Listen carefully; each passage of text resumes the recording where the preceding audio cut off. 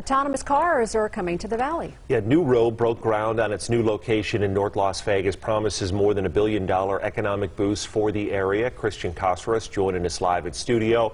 And you were there during the ceremony, Christian, this morning. So how soon can we expect to see this technology around town? Well, Brian and Denise, according to Nuro, the company is expected to be in operation in a year. Now, this is even bigger news for Craig Road corridor right there, which is expected to see a big boost in business. You're getting a glimpse of the first self-driving vehicle to operate in North Las Vegas. Three. Mayor John Lee welcomed tech company Nuro to the city as they get ready to build their manufacturing facility on this 10-acre lot on Craig and Bruce Street.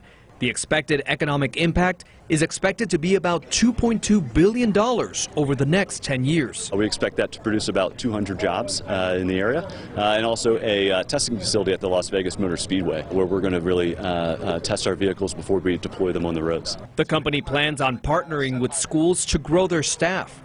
The project is one of several that's booming along this popular corridor of the city. This is just will fit right in with, with this mayor and this council's vision as to bring in more manufacturing jobs, high-paying, sustainable jobs, restaurants, amenities, residential communities, so that we have just a variety for this diverse workforce that we're going to be bringing forth. We need that. This soul food restaurant has been in business for over 10 years and has been a part of the growth in the neighborhood. Nuro's arrival, according to this business owner, will mean more foot traffic and hiring more staff. I think it would be awesome. I think it would help a lot of the business, a lot of the people that still don't want to come out during the pandemic. Uh, you can stay at home, order your pizza, and you're not out on the roads. You're not running errands. You're not running into traffic.